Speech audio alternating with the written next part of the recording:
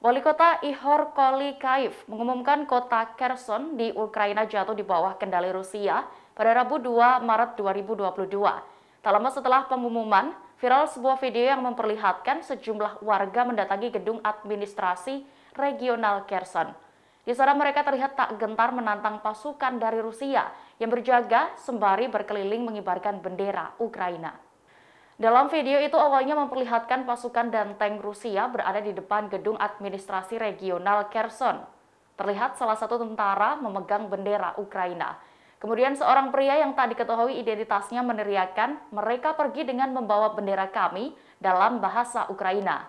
Teriakan itu kemudian disusul sekelompok warga sipil yang mulai berjalan menghampiri tentara Rusia yang berada di luar gedung pemerintah daerah. Dengan berani, warga sipil merebut kembali bendera dari tangan tentara Rusia.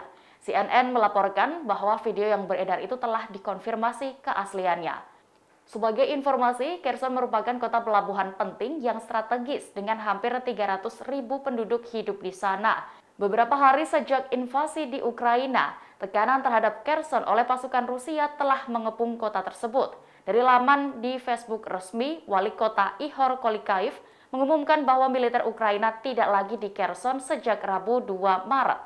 Tanda kota telah jatuh di bawah kendali Rusia yang lain yakni Kolikaev juga mengimbau penduduk untuk melaksanakan instruksi dari orang-orang bersenjata yang ada di gedung administrasi.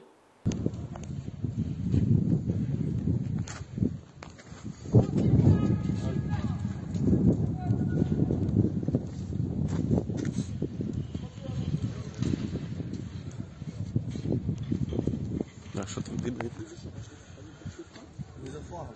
За флагом пошли. О, положили флаг.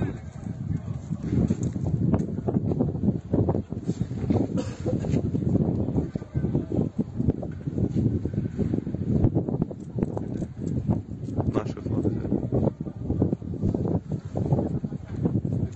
Красавцы. Слава Україні! Героям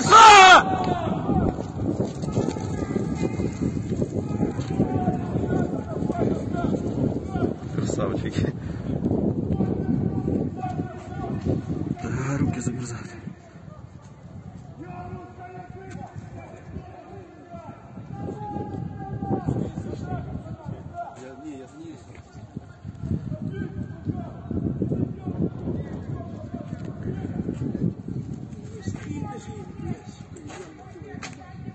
Demikian informasi kali ini, saksikan kabar terbaru lainnya hanya di kanal YouTube Tribun News. Terima kasih sudah nonton. Jangan lupa like, subscribe, dan share ya.